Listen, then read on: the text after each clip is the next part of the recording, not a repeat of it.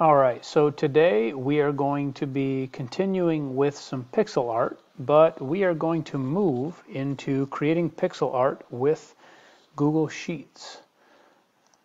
So inside of Schoology, we're going to head over to our digital art and design folder. We will head inside the pixel art and we will click on this pixel art with Google Sheets.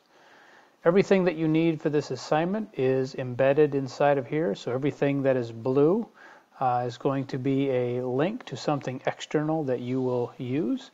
Uh, so you're going to click here to make a copy of the Pixel Art Google Sheet template that will open this up here. And what I've done is I've created a Google Sheet that is already 26 uh, squares wide by 26 squares tall. Make a copy of that there. And then what you're going to do is you'll watch uh, this video here. This will show you how to create that grid and to choose a image. You're going to pause this at multiple times and then follow along. So you'll be bouncing back and forth between tabs. Uh, it's going to be in your best interest to choose an images that's only going to have five to six colors in it. What I've done is I've shown you an example here, and this is what I had uh, created. So you don't want to choose something too complex. It's going to make it uh, a little bit too difficult to complete. Although if you're up to the challenge, you go right ahead.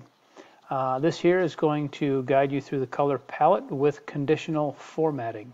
So what conditional formatting does is when you put a number in a cell, it will automatically turn that cell a number. So it's kind of like a paint by numbers. Um, this one here, watch this through creating your own image. This one here is going to match the text and the fill colors along with removing the grid lines. Uh, at the end, what you're going to do is you'll take a screenshot of your Google Sheet with the conditional formatting window open. And what I mean by that is this.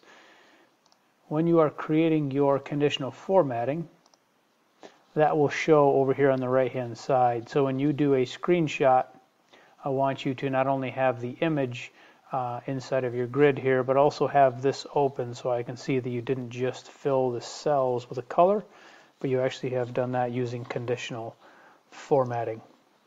And then you're going to go ahead and submit your screenshot to this assignment.